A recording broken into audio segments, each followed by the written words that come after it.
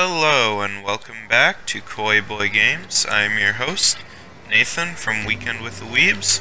Today we're going back to some Devil May Cry They're you DMC. now, Dante. So stay low. Alright. Mundus doesn't know I exist, so I'll remain hidden until we're ready to strike. Kat knows the virility factor. What lies beneath. She will be your guide.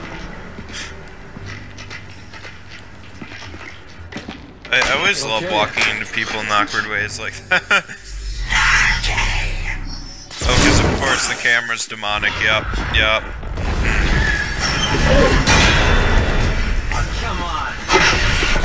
Alright, into limbo we go. drag me into limbo. What? How? I really like the limbo in this. It's like super trippy. The camera spotted you. They must have been looking out for you. Alright, let's go. You'll have to take it out. I know. Here's the trouble. This reminds me like the first fight in Devil May Cry 3. I'm not safe here. Go. I, I need to play that one. This one. That one. Honestly, like that is my favorite, just because it has that old charm, but yet you know doesn't at the same time. Has that like newer, fast-paced kind of way to it. All right, let's cut him up.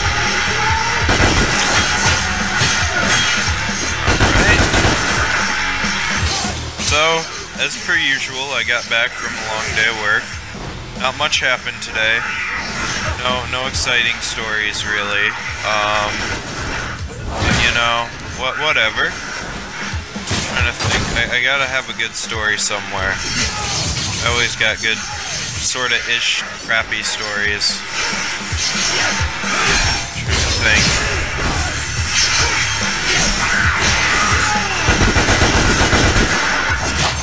A Walmart story? Those are always something. Sadly, I'm trying to think of, you know. Oh, oh yes, yes. Okay. So, I, um, I hate these chainsaw guys, by the way. I was, uh, it's always interesting because every Walmart you go into is different. Like, if you ever want to just know, like, the local climate, like, you know, I, I don't think Walmart's, like, for weird people. Like, that's, that's a misconception.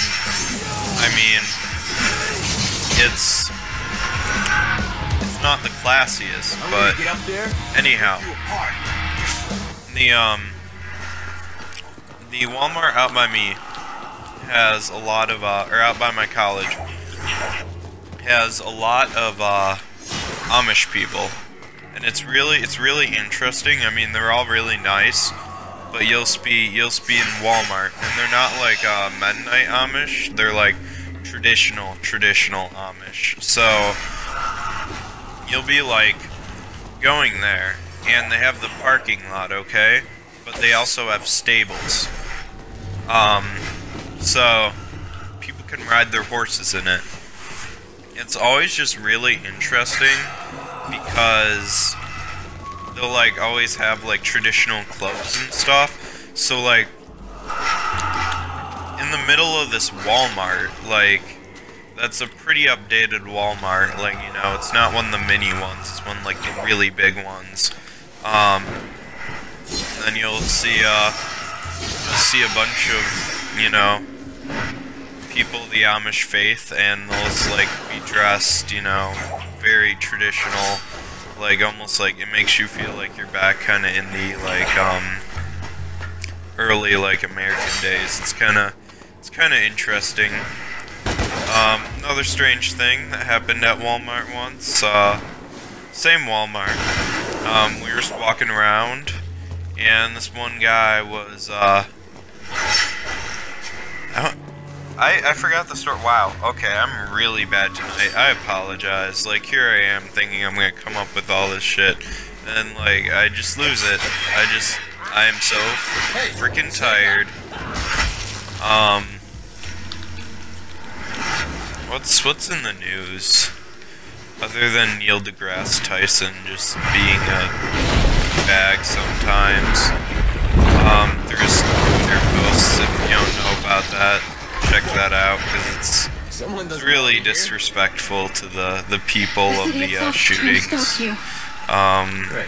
who are the victims sent of it. He basically you, said Sarah. like Best right after it that. happened, like, oh, he Follow just gave statistics like this isn't that big of a deal because like you know people you know die every day of like car accidents, you know, or it was just really disrespectful. Um, not to break it, but I also I also hate these monsters, and uh, so. Done. Yeah, girls. so he did that.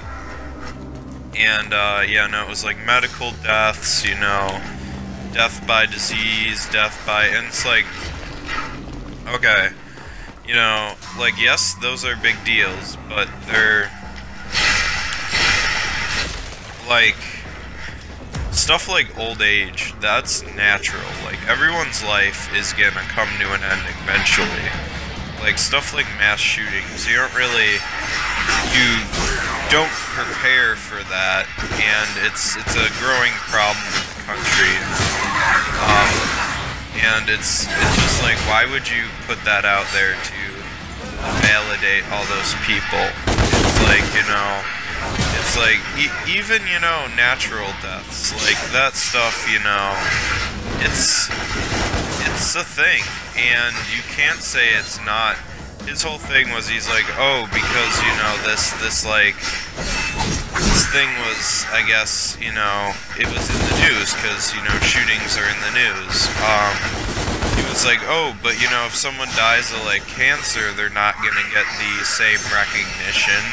It's like I I kind of call, or you know, it's just I I don't see that because there's a lot of um, you know, even maybe we're not naming names, but there's a lot of, you know, stories about, you know, cancer and stuff like that in the media that um gets gets coverage too. So I, I don't know what his uh his point was there. Um I mean all all death is tragic, so I, I don't know he's really trying to prove and whether it's like a disease or natural death or a or shooting, you know, it, it can be can be tragic anyway. There was no no reason for him to like to validate like that, I guess. I don't know. That was just one thing that came to my mind. I saw that and I was like, what the heck, man? I never really was a big fan of him though. Another scientist that kind of went off the rails a bit was Bill Nye. And, uh, see, the, the problem with him that I think a lot of, uh, This isn't good. so, so being in science myself, you, It's the walls. you, you start to learn that there's science, like folk science, and there's publicized science. And there's a huge difference between the two. And that's why a lot of people don't, I guess, like Bill Nye, and why I'm kind of like, you know, he makes it sound like everything in it's like this. Like, for the kids' show, it was great. I, I love the shit out of that. Like, it's one thing if you're inspiring kids, but then you look at his Netflix special, and like for example, the thing with thing with global warming, he was like, "Oh, we're all gonna die right away, right here, right now," and it was really pushing a political issue. Um, whereas there's not really a political issue in global warming. Global warming is global warming, and it is a problem. If you ask like any scientist in that field, like you know what Bill Nye was trying to communicate, yes, it's you know it's something we definitely need to look out for. But is it going to be something that just totally destroys the world tomorrow? No. So we can cut back now, but he was making it sound like this global apocalyptic thing where we need to make, you know, political change right this very instant. And to be honest with you, legislation is not how you're gonna stop, you know, that kind of, you know, polluting the environment stuff. It's really it lies it lies in education. So in a way, a lot of scientists don't like him because he really publicized that issue. Um, of the reasons I I really don't like him as much anymore is because he really, he really, he really dubs down, you know, science a lot, which I, I don't know. I think almost, you know, when when you do stuff like that, like science is a thing and we should get people excited about it, which is why I like him in a way, but it's to the point where you can't just, you know, be like, "Oh, you know, I watched one like Netflix special and I'm an expert on that." Which he kind of makes his stuff out to be nowadays, I feel and you kind of th- that's really dangerous because that's that's where you get stuff like you know anti-vaxxers and flat earthers like because if you read like one article online and this is what really bothers me is like people will think that science just because even if it was an official study but you can't you know not to say there's any official study on flat earth or anti-vax because there isn't despite what they would let you know. The whole anti-vax thing was revoked. We talked about that in the podcast. I'm not going to go into that too much, but like it was shot down right away. Um, so yes, for a second it was quote unquote scientific, but oh, this is an interesting speed run, I guess. Okay. All right. So anyhow, like I was saying, there's there's folk science and then there's like real science. Folk science is what you read online. It's sometimes true, it's sometimes not true. This is the stuff where it's like, you know, oh, if you eat an apple a day, it'll you'll never have to go to the doctor, you know. It's like, no, that's not true. But is eating fruit good for you and is it a place to start? Sure. You know, there's often some truth and there's some where there's none truth, like the anti-vax thing. But like even like things that look scientific, like on like example is in middle school I used to use this website called Psychology Today. And it's a psychology magazine, but it's written for people who just enjoy psychology and psychology topics. It's not really a official source of like psychologists do write on it, but it's written for the the common man, so to speak. It's not gonna be an empirical art article. Now, an empirical article is like a study done. You can see the scientifics. You actually get a lot of numbers. There's a lot of equations. They're they're not really that entertaining to read, but they're gonna give you all the information you need clinically and what else to go other like otherwise with it. So it's that's the problem is like a lot of a lot of times like all these popular sci- scientists like yes they may have you know good intentions but they're not pulling out like oh I got this this um article from like the Pew Research Center that says this. They're not giving you that. They're just giving you the like kind of I hate to say it, but the WebMD kind of you know article of it. It's it's not it's not really where it comes from, you know, and and that kind of bothers me a little. Like, and that that's that's another thing. I wish people would stop dubbing it down like you know the common man can't understand, because like there's a lot of people I know that don't have like you know a college education or anything, but they could get through it like way better than most of the people I know who've tried at college and not done it. So it's I I don't know. I or who are in it right now and just, you know, it's it's it's just weird. Like and I know that's not everyone's aspiration. I'm not saying everyone has to go to college, but just the where I'm getting with this is people, you know, it's okay to let a kid, you know, be interested in reading a actual medical, you know, document just to see what one looks like, you know. It's not people people especially at a young age can understand a lot a lot of stuff.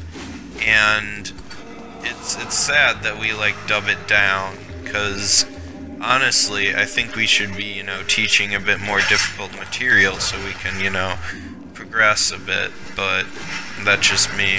Um, obviously, in some cases, that's not for everyone. That's okay, but I honestly think, you know, that's that's how it goes. Um, we we shouldn't have to dub it down. I think everyone should have access in some degree actual like scientific or you know like quality like that's that's why you know support your library or whatever like that stuff's there you know. People people forget like how how much that's actually worth because like i'm gonna be honest with you like even for for half the games i do do i actually with college and all that have enough money you know go out and buy video games and that like every like fifty dollars a week. No. It's not it's not like you know the channel's providing for it or anything. It's just like i get a lot of ones from the library and even this game i didn't get from the library but i or well i got it from there originally but then i bought my own copy you know? It's just stuff like that. Not, not saying this is a scientific document or anything, but it just, I think people need to be encouraged a little more to like, you know, understand, to drive, Wh- whether that's in, that's in, you know, science or art, you know, I think if we really push that in society, we'd have a healthier society. We wouldn't have a lot of violence and whatnot going around, because people would know, you know, we gotta function a certain way. Um, and that certain way is different for everyone. Um, but you know, there's there's certain things that you know we we could avoid. I think you know just giving people that purpose through through whatever it is is a good thing. You know, and yeah, I don't know. It doesn't even need to be education. Like I think a lot of it, you know, on religion too. Um, you know, a lot of people, a lot of people give religion crap because it can go, it can be taken to an extreme. But I, I don't know. Personally, I think you know that it it can help. It can help. You know, I'm I'm coming from a Catholic standpoint on this, but um, I think with all religions in in the right way, if they're done right as they should be, um, it's it's a good thing, and psychologically we've proven that. Um, so even even if you know really don't, you know, let's let's just say proverbially there isn't you know a god or something. Still, the psychological benefits are so proven that it's like even yeah, if this is not real, you're not wasting your time. It does help you in a sense become a more controlled person no matter we found this with like practically all main religions, so it's you know. Plus, it lets you know a lot about like you know, just in general, like society, because a lot a lot of like society is based around religion and you know whatnot, and art.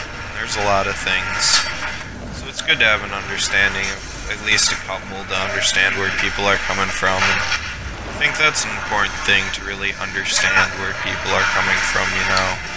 This has been like the longest tangent, but you know, I, I love it. And here I am, just running through all this while dogging. I'm just like, what? What? Oh, this part. I remember this part. I didn't like this level, but this part was great. I just love like churches and that stuff. Like I didn't even know I was in church right away, but I don't know. I love I love Gothic architecture, especially like Gothic American Revival. It is my favorite. Like if if my future house could look like a Gothic Revival church, like you know, still have all the house amenities and stuff, I I would take that in a heartbeat. Alright, well this is about gonna end the video in a few minutes here. Um, I'll come out with another part to this. Uh, thank you for watching and always, you know, subscribe, like, um, or you know, you, you could not, I'm not forcing you, but it would help a lot. And uh, yeah, um, and if you want your, your your uh, voice in the intro, just send that voice recording to weekendswiththeweebs at gmail.com. So, yeah, have a great day.